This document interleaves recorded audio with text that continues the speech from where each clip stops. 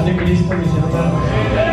En sus lugares vamos a reunir el tiempo que nos queda. Les prometo no ser muy extenso eh, para este, no sé a qué hora se del culto en, los domingos, pero este, vamos a tratar de ser breves. Y, uh, antes de que, mire, vaya buscando Lucas 15, por favor, en el nombre del Señor. Uh, casi no acostumbro últimamente a avisar en, la iglesia que voy a salir porque yo no sé si al hermano Oscar le pasa aquí eso, ¿no? Que sale el hermano Oscar fuera de la ciudad por alguna razón y muchos aprovechan para agarrar vacaciones, ¿no? Así es que yo ah, casi no aviso, al menos cuando voy fuera de la ciudad, vamos para Nicaragua, Honduras o por allá, pues avisamos. Y vamos a andar unos días por allá, pero la mayoría de las veces cuando salimos aquí cerca no avisamos porque no sé por qué tienen esa, ese mal hábito muchos cristianos, de que no está el pastor y, y faltan a la iglesia. Yo hasta les he dicho, les agradezco la honra, le digo, pero yo no les voy a dar la salvación. La salvación la del Señor. Y bueno, de antemano, felicidades para los que se van a casar en abril. Un mes muy bonito, creo que es el mejor de, todo el año. Eh, hermano, gusto en conocerlo. Eh, lamento decepcionarlo con el apellido, pero es nada más un apellido. claro que en lo espiritual, ¿verdad? Como dice el canto, ¿verdad? No las miran porque andan por dentro. Las riquezas, porque las riquezas que traemos de verdad son, son espirituales y esas son las mejores. Y a su nombre. Y a su nombre. Qué bueno que hizo la invitación, hermano. Así los hermanos que viven cerca este, pueden a, a visitarlo a la mejor hasta nosotros venimos en el nombre de Jesús. Pero quiero decirles, hermanos, que estamos muy cerca de una boda mucho más importante que cualquier otra del Cordero. Me gusta mucho cuando Apocalipsis 19, 6 dice, 17 dice, y su esposa se ha aparejado. Y se le ha dado que se vista de lino fino, limpio y brillante lino fino son las justificaciones. Y me gusta la versión 60 porque la versión 60 dice las acciones justas de los santos. Gloria a Dios. Ya son nombre. Ah, ¿Cuántos ya son parte de la esposa? Aquí en Me refiero a la iglesia. ¿Ya son parte de la esposa? Gloria a Dios. Eh, no sé qué tan rápido anden ya con los preparativos tanto con el salón, ni qué vamos a dar de comer, y quién los va a casar, no sé cómo se usa acá en México, ¿verdad? Si un juez o un pastor, allá un pastor puede casarlos, ¿verdad? Y que el vestido, no sé si van a usar vestido blanco, que yo no estoy en contra del vestido blanco porque es bíblico. Bueno, no es ahorita no es el punto de hablar de eso, pero eh, conforme se va acercando la, fecha que ellos eh, han establecido, les garantizo que van a andar, pero corriendo, qué falta, y que apúrate, y que esto, y que lo otro. Muchas de las veces es la misma acción que hacemos cuando vamos a ir de vacaciones. ¿Cuántos de aquí salen de vacaciones por lo menos una vez al año? ¿Sí saben? Eh, ¿Verdad que no se van a lo loco? Perdón la expresión. ¿A dónde, ah, dónde apunta el guarache, no? ¿A dónde vamos? ¿Qué te parece Mazatlán? Ok. ¿Cuánto vamos a estar? Pues unos cinco días. ¿Tenemos dinero? No, pues. Empiezan a buscar el lugar, el hotel, este, a comprar las cosas que se necesitan para determinado viaje, ya sea para el camino, hasta para estar allá, aunque casi siempre se nos olvidan cosas, ¿verdad? Eh, a veces mi esposa y yo vamos a un lugar por dos días y lleva como para 20 días de ropa. Así son las mujeres, pero se ríen. La mayoría, y es bueno, son precavidos, ¿verdad? Este, y luego, como ya tenemos la tecnología, oye, ¿cómo va a estar el mío? ¿Qué frío caliente? Pues ya la buscamos, ¿no? Ah, entonces me llevo esta clase de ropa. Aunque de repente el clima nos da una sorpresa, pero... Una pregunta rapidito, si quiere contestarlo está bien y si no está bien también. ¿Ya está preparado para las nuevas del Cordero? Porque nos vamos a casar, hermanos. De hecho, la palabra gamos en griego, que significa boda, no significa baile, comida, salón de baile o salón de, de, evento, no significa unión, enlace.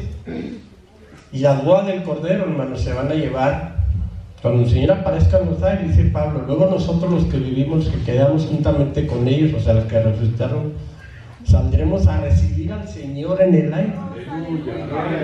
Y así estaremos siempre con el Señor. Cuando Cristo viene y la iglesia se levanta, hermanos, a recibir al Señor, ahí se llevan, ahí se concretan las bodas. Porque las bodas es unión, no es pachanga. Y a su nombre. Con respeto lo digo, ¿verdad? Hay quienes piensan que viene el Señor y nos vamos al cielo por siete años, que ahí hay una mesota grandota y, vamos. Bueno, no. Cristo viene a la tierra. A su nombre. Le dijo aquel hombre a Jesús cuando está en la cruz, Señor, acuérdate de mí cuando vengas a tu reino. El Padre nuestro que estás en los cielos, santificado sea tu nombre. ¿Y lo que dice, hermanos? Venga tu reino. Porque Cristo viene por segunda vez a la tierra.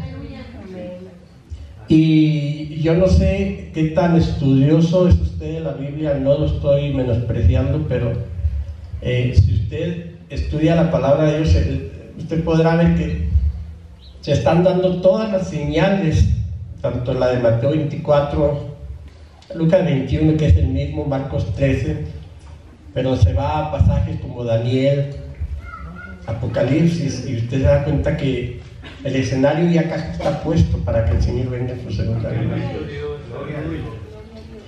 Le voy a dar una información breve, a lo mejor ustedes la conocen, a lo mejor no, pero a quienes miran las noticias, tanto las tradicionales como las alternas, se dan cuenta que eh, hay algo, hay un común denominador que está sucediendo y menciono las dos, las dos fuentes porque lamentablemente, hermanos, las, las redes ah, noticiosas más populares a nivel mundial, yo les hablaré de Estados Unidos, por ejemplo, CNN, todas Fox News más o menos, pero Univision, Telemundo.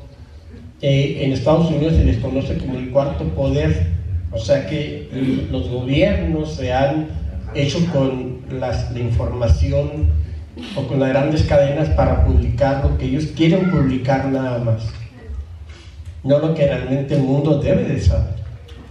Por eso se llama el cuarto poder, porque a través de ellos toman el control de la sociedad. Yo no sé cuántos han estudiado la Segunda Guerra Mundial, pero Hitler empezaba la tecnología del radio y Hitler, hermanos, utilizó mucho la, la esos medios de comunicación para controlar al, mundo de aquel entonces. Eh, la guerra del 67, no sé cuántos la han estudiado un poco, la guerra de los seis días, cuando Egipto le hace guerra a, perdón, a Israel, eh, se unió en Siria, Irak y otros países, siete países contra Israel. Eh, lo bueno de esa guerra, históricamente hablando, es que Israel toma la iniciativa, ¿verdad? Y ataca tempranamente destruyendo las, los aeropuertos de Egipto, naves, autopistas, y se hace la, la, guerra de, los seis días, se le, se le conoce. Y empieza Israel, hermanos, la ofensiva y empiezan a ganar mucho terreno, pero Nasser, que era el presidente de Egipto en ese entonces, para no poner de nervios a su población, porque ya habían preparado todo y, la euforia de, del general de, de Nasser ¿verdad? hizo que el pueblo hasta dijera, se llevó el día de los judíos, hasta aquí llegaron ellos. Empieza a través de las redes, de, bueno, la, la, la radio en aquel entonces a decir que Egipto iba ganando cuando era una mentira. Y lamentablemente ¿verdad? Este, fue una realidad para ellos, perdieron. Eh, Nasser entró en una depresión tan fuerte que a los tres años él murió. Y bueno, después llegamos a la guerra de Yom Kippur, que es otra guerra muy importante, pero quiero darle rapidito esta información porque usted sabe que la Biblia dice que habrá guerras y rumores de guerras.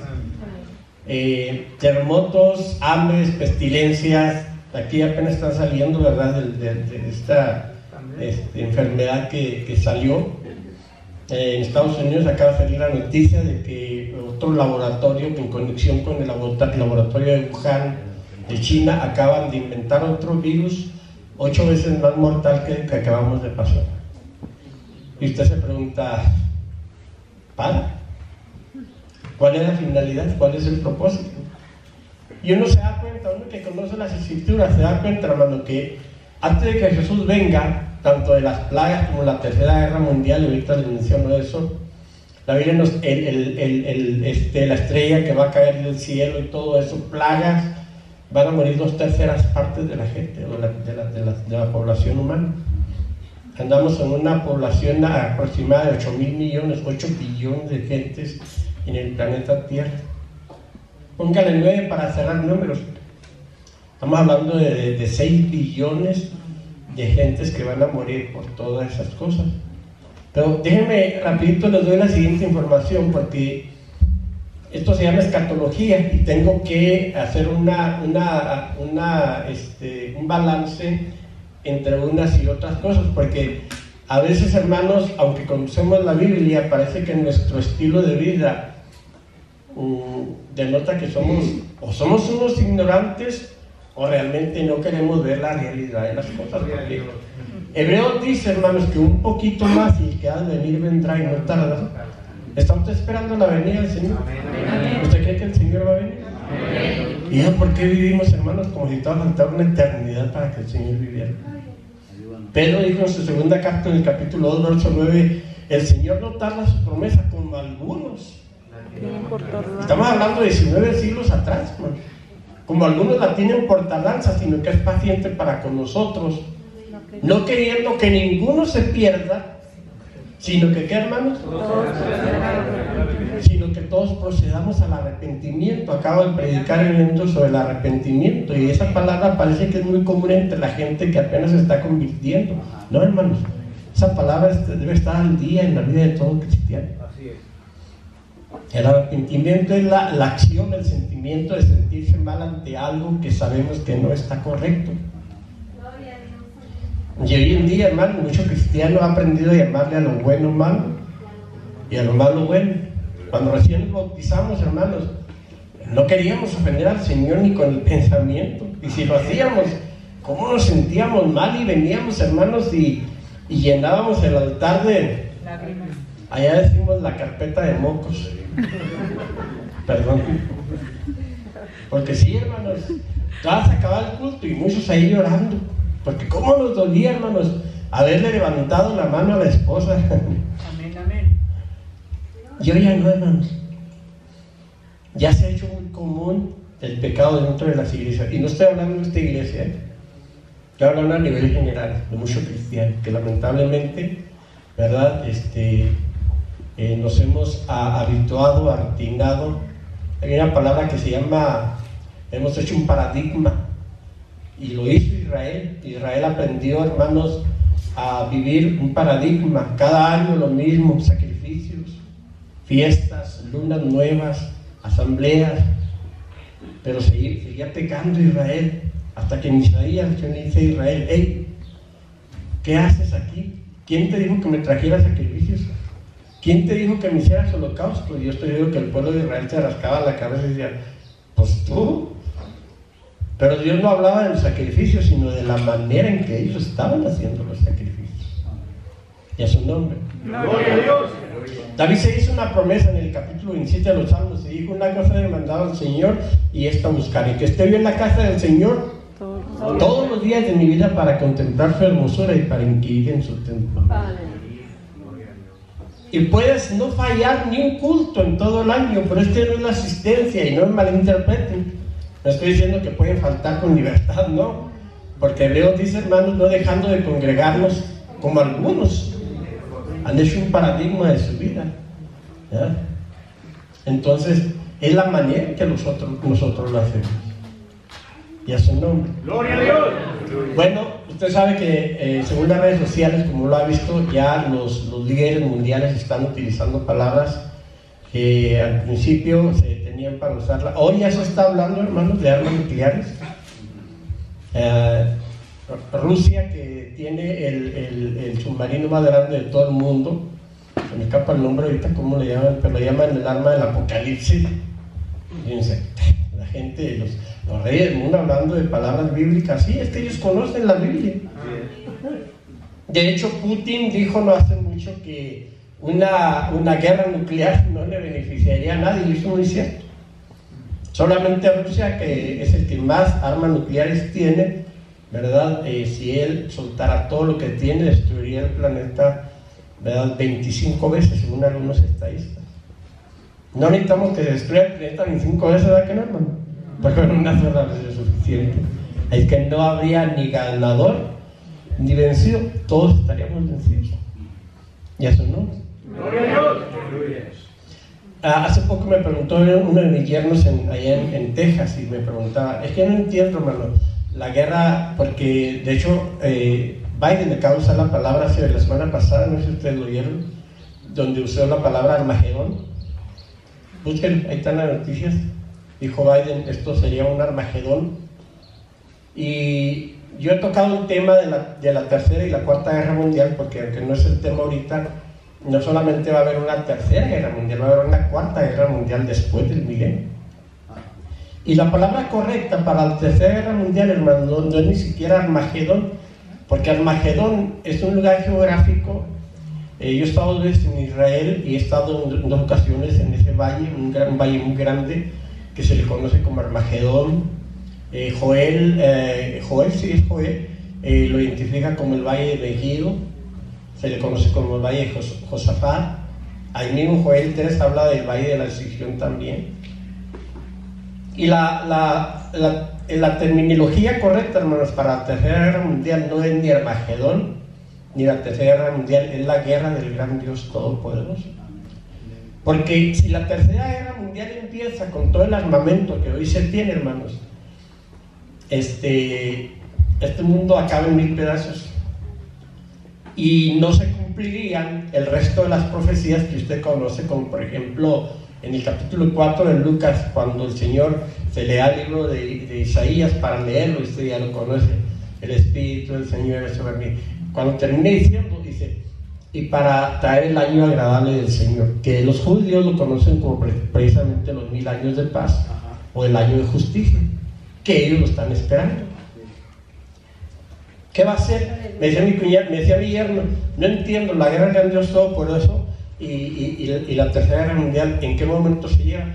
Es que la tercera guerra mundial, hermano, va a empezar, de hecho, pueden pensar lo que ustedes gusten, pero alguien ha dicho ya que ya empezó, porque ya la guerra ahorita, hermano, no es tanto bélica, aunque va a haber gran parte de eso, sino ahora las guerras son biológicas, las guerras son a nivel redes sociales, guerras cibernéticas y otras cosas y ahorita, hermanos, hay un intercambio, ¿verdad?, de, guerra debajo de la mesa entre estos países.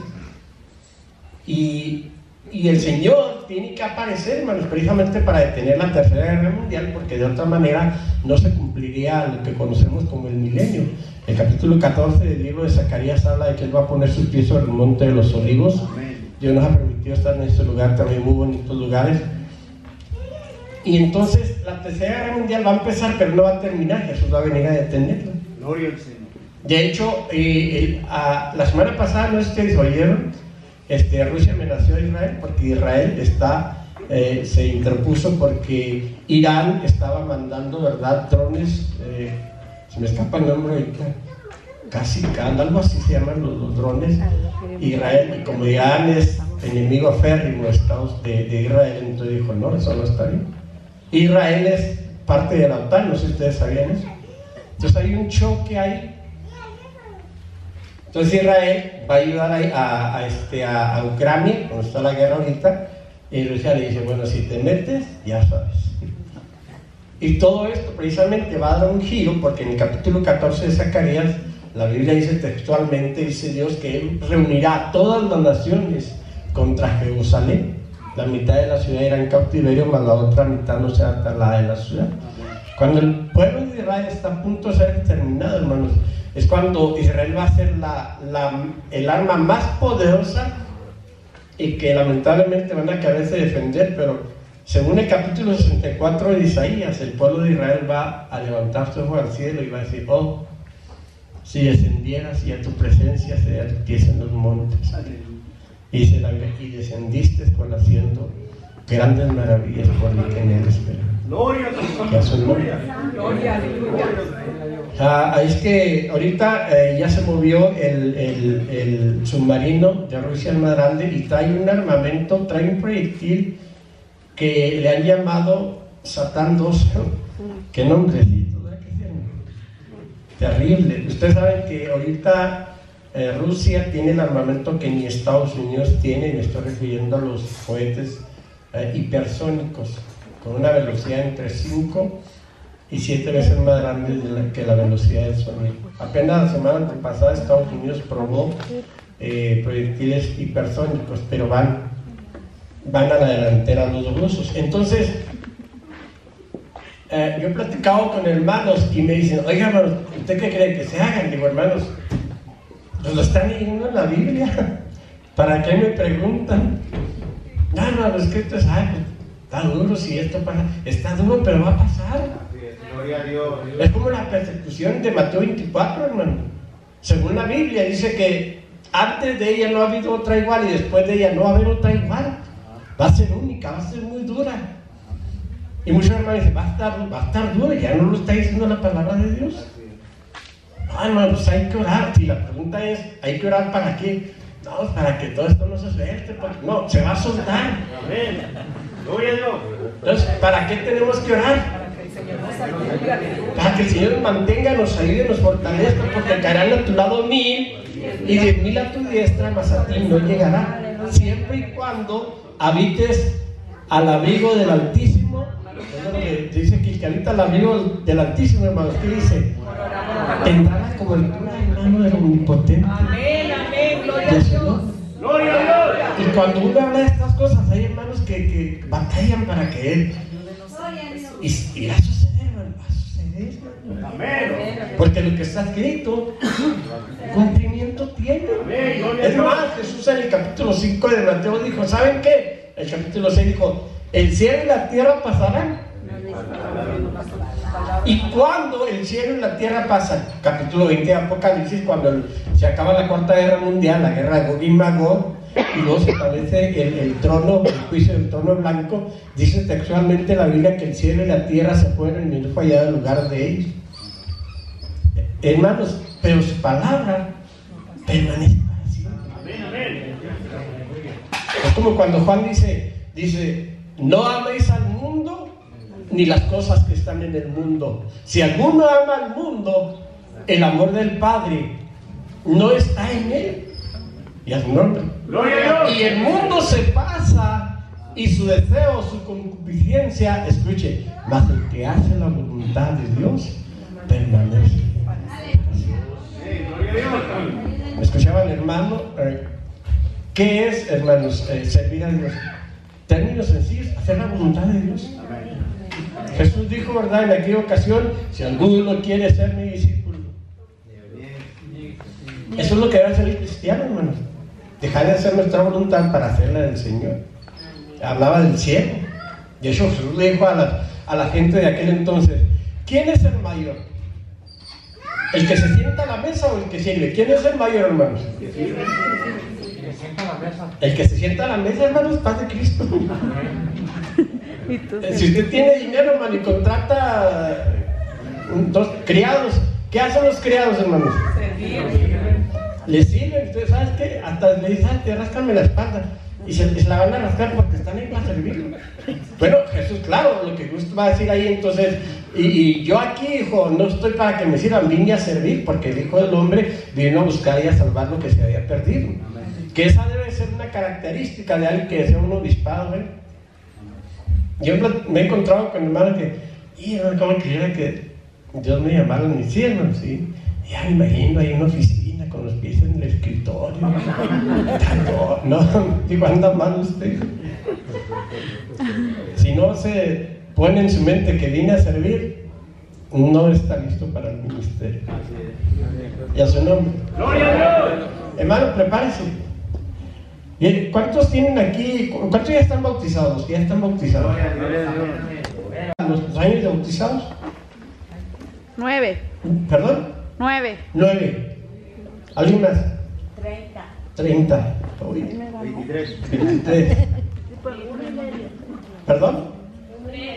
Uno y medio. No le hacen mensaje bautizado, díganlo, porque es, una, es un privilegio, muy amados. Ahora somos hijos de Dios. Y aún no se ha manifestado lo que hemos hacer, pero sabemos que cuando Él apareciere, dice que seremos semejantes a Él, porque deberemos tal y como Él es. Es su nombre. 38 años, mi esposa 36 años. Y hermanos, seguimos todavía aprendiendo y preparándonos. ¿Por qué le pregunto esto? Aunque no es el tema tampoco, ¿quién tiene un año y medio? ¿Usted, hermano, Un año y medio. Mire, un año y medio. Yo tengo 38. Según la parábola de los que el Señor llamó para trabajar en su viña, si usted y yo llegamos a la meta final, yo caminé por 38 años y el premio, 38 años y el premio que me va a dar el Señor a mí en, en el área de la salvación, bueno, yo soy pastor y no voy a meterme en esa área, no es que nos sentamos mejores que ustedes, al contrario, tenemos mejor, más grande responsabilidad, pero en el área del premio de la salvación, el mismo premio que me va a dar a mí se lo va a dar a usted, aunque haya caminado solamente un año y medio. Gloria a Dios. Le dijeron a aquellos que trabajaron todo el día, y nos va a dar también, nos va, a, él, a él le dio un denario y trabajó una hora, nosotros tocan ocho denarios, y lo llegan ellos y les da un denario. ¿Un denario? Sí. ¿Tienes envidia de lo que es mío? ¿Qué no puedo dar yo al que yo quiero lo que quiero darle? Y así es, hermano. Él dice que da el pago. Aquí lo importante es llegar a la meta final. Y a su nombre. Vamos a practicar un poquito, a poner en práctica un poquito algo. Vamos a ver, eh, vamos, voy a, hacer un, un, ¿cómo les dijeron? Vamos a hacer un ejercicio. Más o menos para que se den ustedes una idea que, por eso Mateo 24 dice que el Hijo del Hombre vendrá cuando nadie sabe y cuando nadie lo espera. Gloria a Dios. Por eso un cristiano, eh, según el capítulo 26 del libro de Mateo, dice, velad y orad para que no caigas en tentación. Y toda expresión en términos de de no es una sugerencia, es un mandamiento. Si el texto dijera, ¿saben que cuando uh, tengan chance en la hora del lunch, échense una oración de unos 15 minutos? O si no saliste muy cansado del trabajo, vete a la iglesia la orden es velar y orar. Y hay dos maneras de pecar contra Dios, en términos generales, transgresión y omisión. Transgresión, ¿qué es transgresión? Romper un mandamiento, transgredir, quebrar. Es como cuando usted se está en el trabajo algo que no es suyo. Ya su nombre. Gloria a Dios. Ay, hermano, apenas me traje tres tornillos, sí, pero no eran suyos. Gloria a Dios. Pero el patrón de, está bañado en tornillos. Sí, pero son del patrón. Gloria a Dios. Amén. Usted está quebrando un mandamiento, está transgrediendo. Ya su nombre. Gloria a Dios. Omisión. ¿Qué es la palabra omitir? Dejar de hacer. O sea, no hacer lo que debemos de hacer. Si el texto dice velad y orad, yo te está diciendo, tienes que velar y tienes que orar. ¿Qué hago yo cuando no velo, o sea, o cuando no oro, o cuando no ayuno, o cuando no vengo a los, a los servicios? Porque déjenme decirles una cosa, hermanos. Venir a los cultos es un compromiso que todos nos echamos cuando nos preguntaron cuánto tiempo le íbamos a servir al Señor. Y usted dijo... Todos los días de mi vida. Usted echó el compromiso, nadie le puso una pistola y usted no hace lo que el Señor le dice a usted que, que debe de hacer, usted está pecando contra Dios porque está omitiendo o dejando de hacer algo que es un mandamiento. Amén, amén. Y a su nombre. ¡Gloria!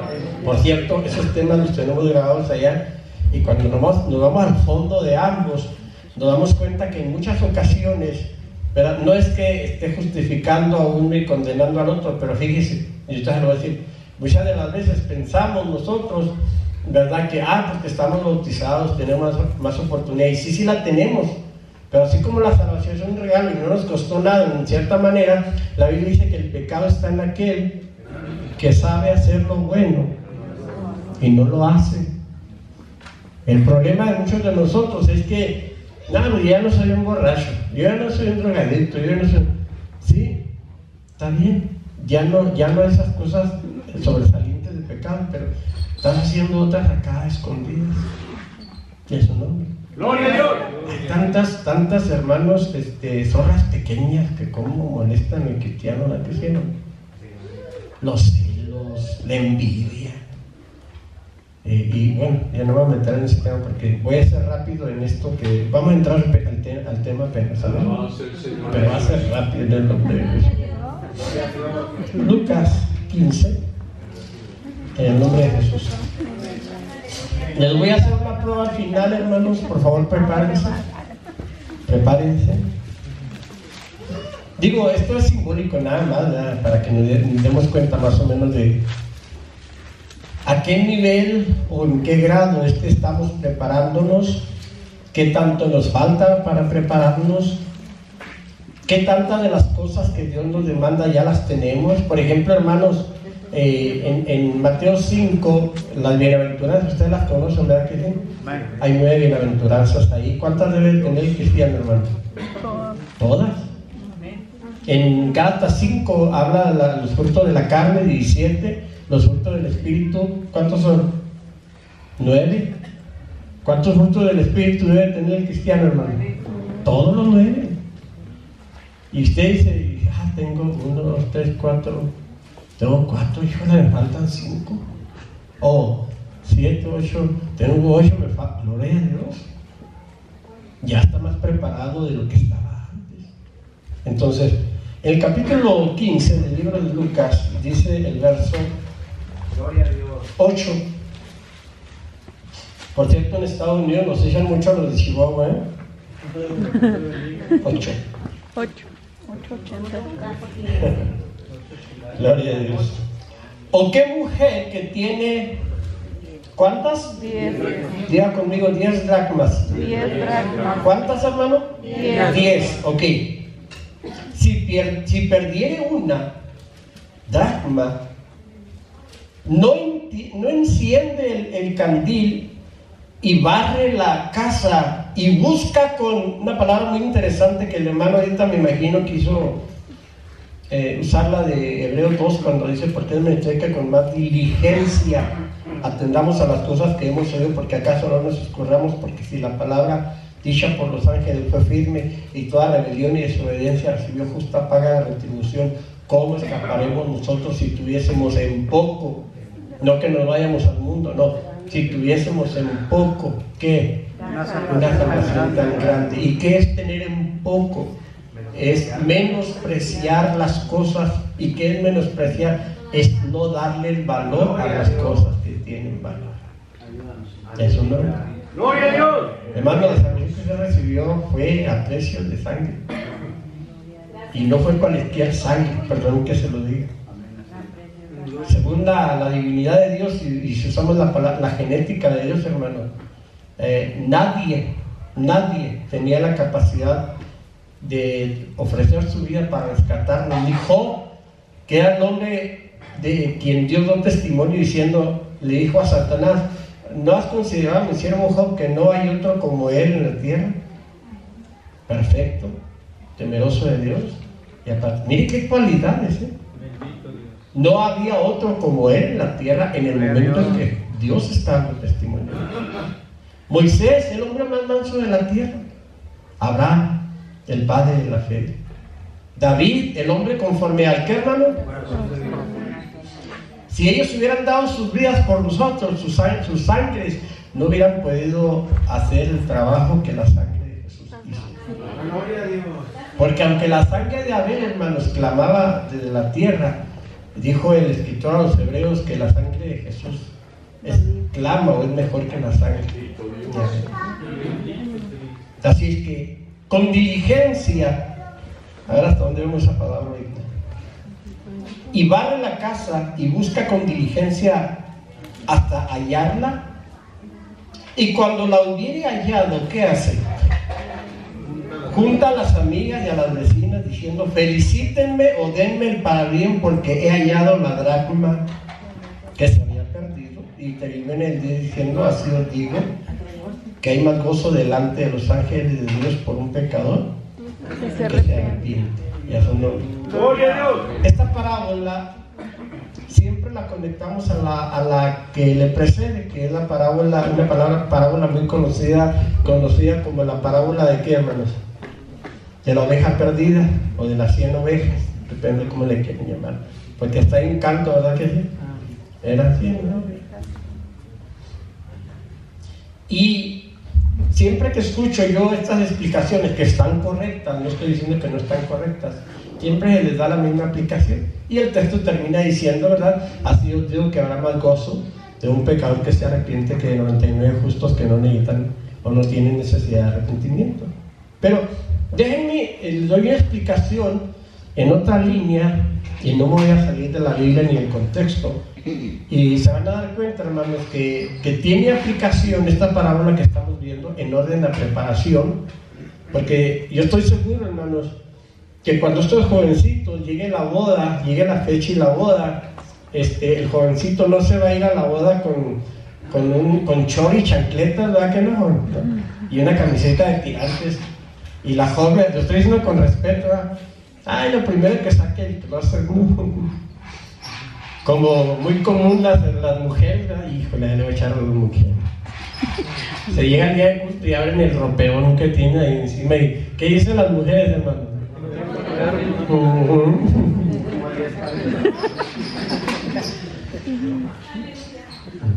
Ella su nombre.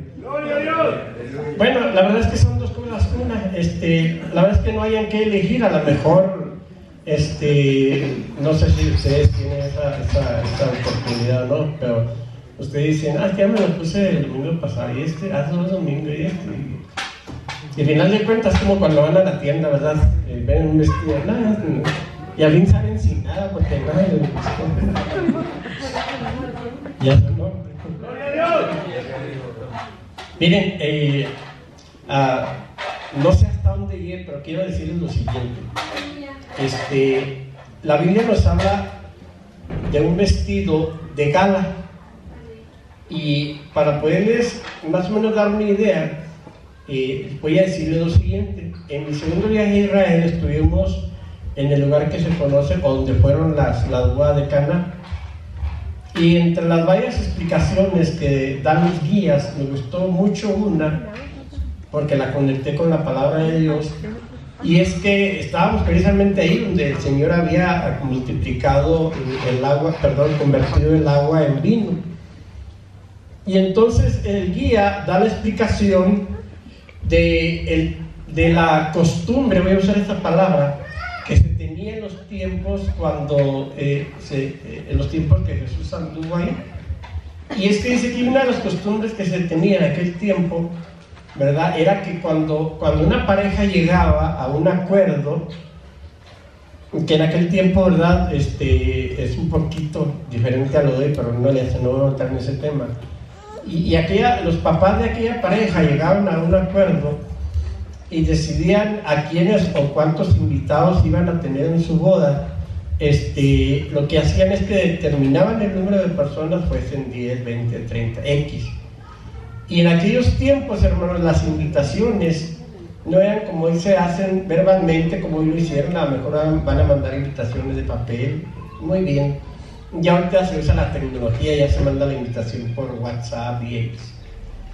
En aquel tiempo, hermanos, cuando, cuando los papás de una pareja eh, iba a llegar la boda, lo que hacían, las invitaciones que ellos daban es que hacían un, tipo de vestimentas o batas, para que me entienda, las cuales mandaban a las personas que habían sido invitadas a la boda. El que no recibía ese vestido no entraba. Nada más que tenía ese vestido. Una vez empiezan a conectar una parábola del capítulo 22 del libro de Mateo, del rey que hizo bodas a su hijo. ¿De acuerdo?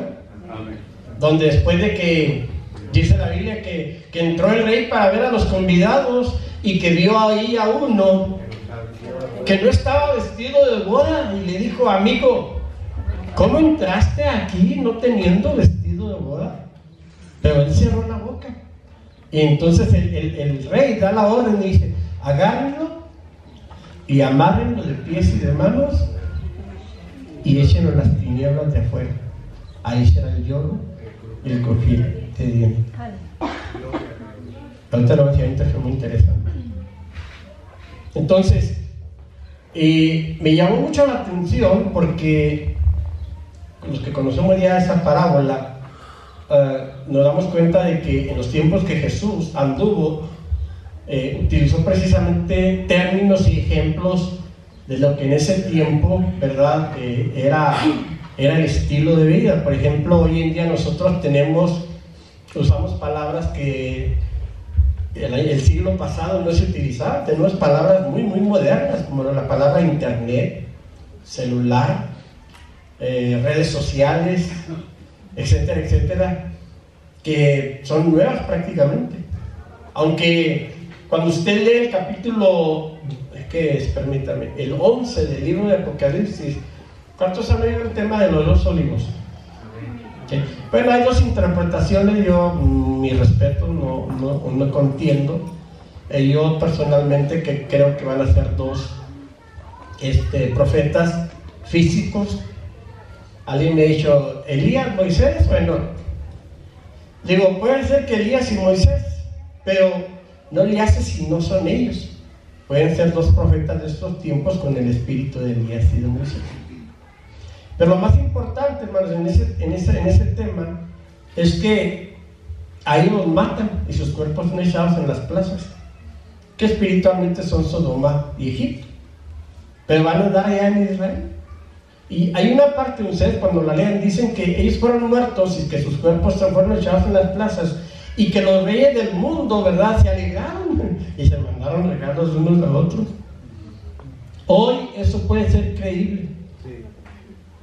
En aquellos tiempos no, hermanos, porque solamente para caminar distancias, por ejemplo, la Biblia habla del camino del camino de un sábado, y de hecho, yo he estado allá, hermanos. Bueno, nosotros eh, tuvimos 10 días en Israel y 5 días en Egipto. En Egipto, hermanos, son, en camión son de 10 a 11 horas. En camión. Entonces, Israel, por ejemplo, no debió haber tardado 40 años para llegar a la tierra prometida. Mínimo en dos años Israel ya debió haber estado en la tierra prometida, aún con toda la logística que Moisés tenía, porque según algunos números, acuérdense, que salieron de, Egipto como a la tierra prometida 600 mil hombres sin contar niños ni mujeres. Y si le damos por lo menos dos niños a cada familia, que es muy raro porque los hebreos tienen como mandamiento multiplicarse, siempre fueron grande cantidad, Jacob 12, más de 12, estamos hablando de Dina, la hija, y bueno, también se habla de las criadas, bueno, no voy a en eso.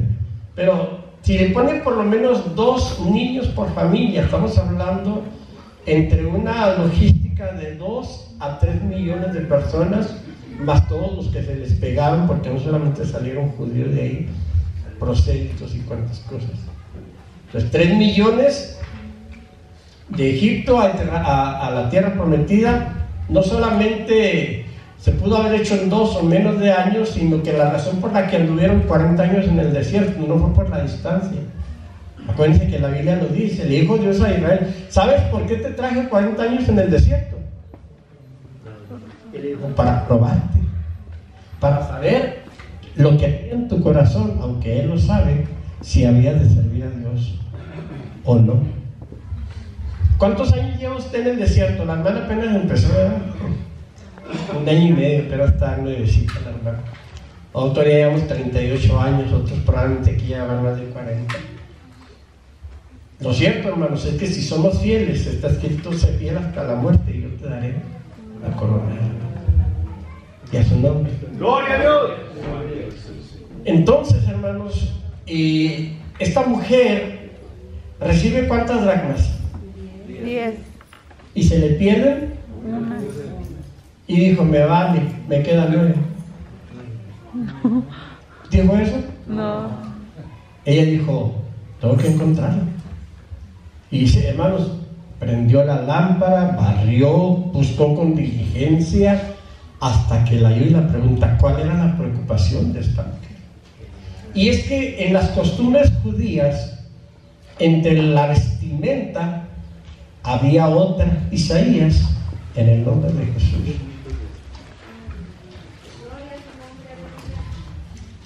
Le garantizo que no voy a durar ya mucho, ¿eh? ya estamos casi terminando. 61, capítulo 61 de Isaías. Mientras lo, lo encuentra, me voy adelantando. Acuérdense que Jesús viene por una iglesia pura, sin mancha y sin arruga. Ya le echó una vistada a su vestido, ¿cómo está? Un vistazo a su vestido. La noche le echó una mancha de mostaza. Hay que trabajar. Váyase al lavadero. No, está arrugadito aquí. Yo creo que la hermana, a usar vestido blanco, la hermana, la jovencita que se va a casar, no creo que llegue la hermana con vestido blanco y una manchota acá de, salsa acá, de frijoles charros acá, toda chorreada, perdón la expresión. Ella quiere ir. ¿A poco no, hermano? ¿Mm? Claro, en la Biblia la palabra o el término, este, como ya lo ven ustedes, blanco, o el color blanco o lo que es, eh, según el capítulo 19 de Apocalipsis, ¿verdad? El lino fino es sinónimo de, santidad, sinónimo de limpieza. De hecho, Hebreos 12, 14 dice ¿verdad? que sin paz y sin santidad nadie verá al Señor. Pablo a los Efesios en el 5, 20 algo habla ¿verdad? ¿verdad? de esa iglesia pura, sin mancha y sin arruga. Y uh, que es... Um, también que es Pablo, es, es, Juan en su primera carta en el 3, y, donde dice, ¿verdad? Y cualquiera que tiene esta esperanza en Él se purifica como Él es limpio. Jesús a través del apóstol Pedro nos dice, ¿verdad? Sean santos. Dios a través del apóstol nos dice, sean santos. ¿Por qué? ¿Por qué, Señor? Sencillo, porque Él es santo. La santidad en el Hijo de Dios no es una sugerencia, es una obligación. ¿A qué grado? Por lo menos hasta donde ustedes lo entiendan, hermanos, porque hay cosas que unos entienden un poco más que otros. Acuérdense que Dios da su espíritu por medida. ¿Sí saben eso? Dios no da su espíritu por medidas. Perdón, Dios no da su espíritu por medida, Dios da su espíritu por medidas. Es muy diferente. Un ejemplo es eh, esta pluma, eh, aquí se usan centímetros. ¿Cómo cuánto mide esta pluma? Más o menos sabe. 10 centímetros. 8 centímetros. 12, vamos a poner 15 centímetros. Dios lo agarra, hermanos, 15 centímetros de su Espíritu Santo y a todos nos lo da igual. Y la pregunta es, ¿por qué? ¿Cuántos tienen por lo menos tres hijos aquí? ¿Alguien tiene tres hijos? Tres hijos. A los tres los disciplinan igual, los tratan igual. ¿Por qué no? Porque son diferentes. Son diferentes. ¿Y eso no? ¿Usted cree que no somos diferentes? Dios nos hizo, hermano, y así no va a saber que somos diferentes. Dios al hermano Oscar, lo digo con mucho respeto, le dio un poco más de nivel de Espíritu Santo que a mí, porque somos diferentes, aunque estemos en el ministerio y a su nombre. Y eso es muy importante, hermanos, porque a veces, y voy a, darles este aperitivo, porque muchas de las veces en las, congregaciones queremos que todos sean como nosotros. Eso está mal. Ay, que la hermana no se pone la cubierta como a mí me gusta. Eso está mal.